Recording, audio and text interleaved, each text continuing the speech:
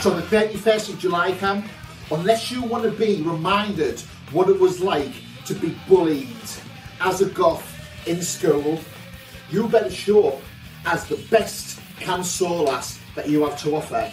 Otherwise, Shreddy will take you back to school, he will bully you around that building and walk out as champ.